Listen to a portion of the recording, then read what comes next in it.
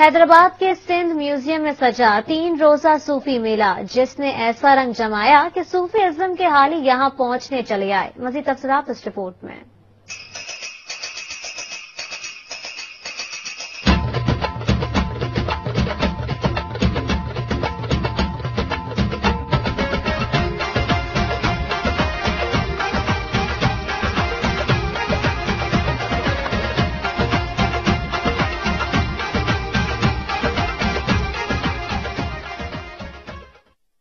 کلندر لال کی دھمال ہو یا سچل سرمس کی سرمستی؟ لطیف کی وائی ہو یا سندھ کے صوفی بزرگ کی مثالیں؟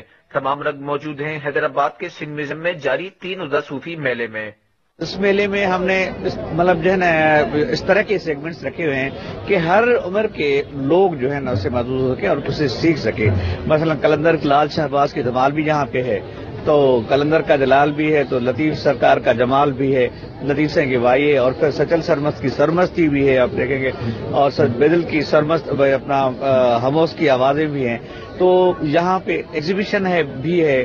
جس میں یہ پکٹوریل حساب سے دکھایا گیا ہے کہ تصوف کی جتنی بڑی شخصیات ہیں۔ تین روزہ تیسرے سالانہ صوفی میلے میں سندھ کے اولیاء و بزرگ کی تاریخ کی تصاویر کی شکل میں نمائش صوفی رقص کتاب میلہ سمیت اور بہت سی ایکٹیویٹیز موجود ہیں جس میں حیدرآباد سمیت اندر سندھ سے بڑی تعداد میں طلبہ و طالبہ سمیت شہری شرکت کر رہے ہیں اور میلے سے لطف اندوز ہو رہے ہیں۔ اس میلے میں دیکھیں نا جو نیو جنریشن ہے ہماری آنے والی جنریشن ہے وہ یہ دیکھ کر، یہ ماحول دیکھ کر ان امپروومنٹ آتی ہے۔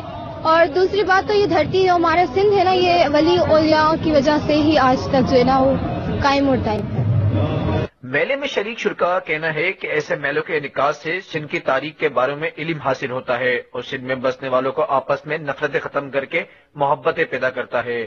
کیمرہ مین جمیل پٹھان کے ساتھ علی شیخ، کے ون نیوز، حیدرآباد۔